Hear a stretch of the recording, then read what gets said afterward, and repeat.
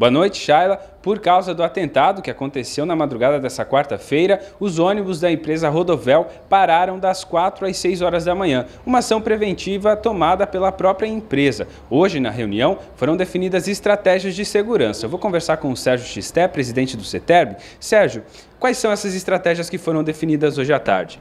Nós teremos um acompanhamento muito próximo da Polícia Militar, tanto, atuando tanto nos terminais quanto com escolta nos ônibus. Isso pode acontecer de ter alguns atrasos ou algum agrupamento de ônibus, mas o objetivo principal é garantir a segurança tanto para a população quanto para os trabalhadores do transporte coletivo. A princípio, nenhuma linha foi alterada de horário, todas permanecem normalmente.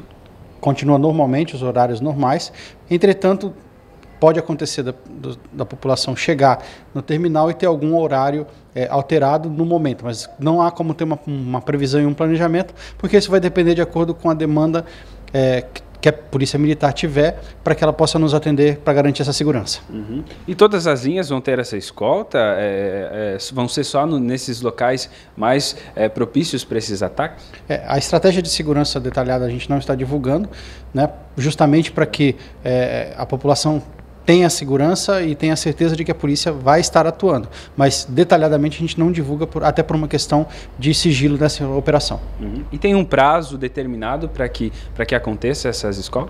Isso vai acontecer enquanto for necessário, enquanto a Polícia Militar julgar necessário, enquanto houver essa crise de segurança que a, acontece no estado de Santa Catarina. Uhum. Muito obrigado, Sérgio, pelas informações. E nós voltamos ao estúdio com você, Shaila.